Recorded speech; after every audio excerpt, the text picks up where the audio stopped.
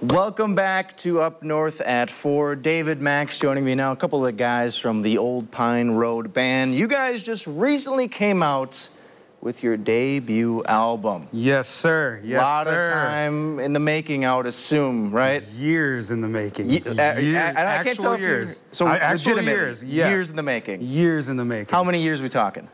Man, going back to like the very beginning when I started coming up with the ideas and like putting pen to paper for them, I mean, five years probably. Wow. Yeah, yeah. So, so five years of blood, sweat, tears, everything. a lot of learning and mistakes and Uh-huh. relearning and uh, you know it was it was a really fun tedious frustrating process I can and uh, imagine. yeah so so glad to have it out So when you were finally done, the album's finished.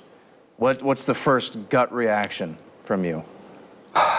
like just it's, it's finished. Yeah, when I finally like put it out and it was like I'd sent it in, you know, you have to send it into a distributor and, and whatnot like that, but uh, the stores all have to approve it and Right. whatnot. So I just when I had sent click and push that through, it was just so much elation because it really was such a long, stretched out Oh my God, process. yeah. I don't think the average album takes five years to, to put together, but um, we did everything in it ours, ourselves. Mm-hmm. I, I, when I started this album, it was in the corner of my living room in my two-bedroom apartment. I had like you know the little home studio set Oh up, and I started yeah. kind of laying down some of those basic tracks.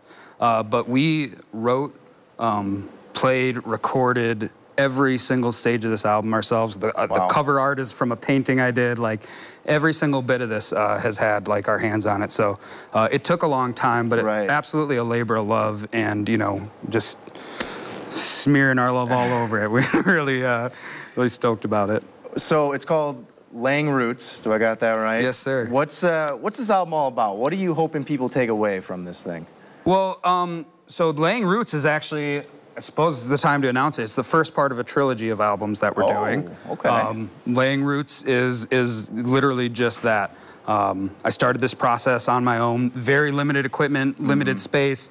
Um, I mean, I literally recorded the vocals for a lot of this in a shed in my mom's backyard. Like, set up a vocal isolation booth, like, very hodgepodge, you know. But you were like dedicated, Oh, obviously. very, very, very. it I mean, like I said, labor of love. Every every single bit of it. Songs that uh, I wrote and then uh, played and did the whole process on. So, uh, yeah, that just it, it took a very long time. Very, very uh, kind of you know just thrown together. I can't even remember what the question we started with was, but it, it, it's been a labor of love. Absolutely. So trilogy though. Trilogy. got- That's what we started. we got two more Nate. coming, is what you I'm are such a professional. Thank you. I try. So we, there's two more albums covering. This first one is kind of our foundation, laying roots. Uh, I think the one of the last times I was on here, I talked about the recording studio that we Right, opened yeah, up. yeah, yeah. Um, nothing on this album, I think, was done in the recording studio. All this was like done in the living room. The, the recording studio is a new thing. So the next album, Okay. um, which I suppose I'll drop the name of, and we're actually going to play a song off of today. The next album is called Branching Out. Okay. So okay. laying roots, branching, Branching out. out. There's there's a theme. We won't All drop the third one, but there's a theme, and and the albums will. Uh, kind of push conceptually a little Yeah, what we're yeah. doing. We're going to try to get a little bit more and more creative with each one. Uh, so the second album will be the first one where it's a collaborative effort, Okay. or a more collaborative effort, I should say. When I started this, again, it was all myself, and so a lot of just my own stuff. Yeah, yeah. Now there's a group working. We're in a recording studio. We, ha- you know, we we the space is ours, so we're kind of just piecing this together. So we're hoping by the end of the summer to drop the next one. So there won't be a five-year gap. Oh, yeah, right, right. Maybe not waiting as one. long between the, the next couple albums. But then- Yeah. so it started just you five years ago. Yeah. Obviously, you got a group of guys now working with you. Max, when did you kind of get involved with this project here? Uh, David and I met about a year ago at Oh, Jack okay. Pine Jamboree, a festival down in Birnamwood. Yeah. And we've been playing shows together ever since. Uh, Okay. Scott Kirby actually introduced us, really? uh, Yep. another Thanks, local Scott. legend here. So yeah, thank you. It just, just goes to show how these musicians kind of piece together these things that grow into. it's like a, a Some little stuff. network. I guess, yeah, if you will, It's definitely for sure. community. Family, yeah, definitely. So I, I, I'm kind of curious then too. Off of that, is there any plans in the future? Obviously, a couple more albums on the way, but is there plans in the future to kind of start collaborating with other artists, kind of expanding oh, for sure, a little bit? For sure. So um, when I say like this first album, I, you know, I did a lot of like the, the, the guitar, bass, mandolin, and those rhythm. Um, uh, but along the way, I met Thor Gunderson, who Okay. uh, he uh, he owns a bar actually called the Big Dipper up in Pike Lake. Visit it. Um, but he is a phenomenal guy. Uh, and he played drums uh, on the entire album Oh, okay. uh, and added the percussion element. Uh, Chris Skinner is another instrument, uh, or another musician we've met along the way who uh, plays a mean harmonica, a Chapman stick.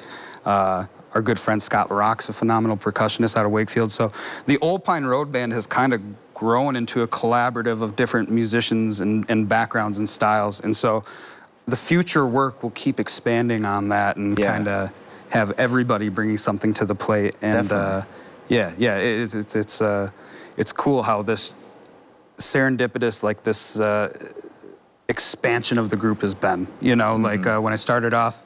Uh, very, very, you know, difficult to find guys that could commit to doing all the work because it is. It's a lot of work, a lot of Yeah, time, um, and effort. Um, so yeah, to to meet these people along the way that have just contributed so much to my life, my career. I just love these guys to death and can't thank uh, all of them enough. Yeah, absolutely. And I'm, I'm excited to be able to sit down and just listen to this album the whole way through. And of course, the next two coming. Oh, I'm going to have that circled. You're going to have to let me know the date. Yeah, yeah. Make sure it's on Spotify, Spotify. iTunes, Amazon, anywhere that you listen to or stream music. Just look up the Old Pine Road Band.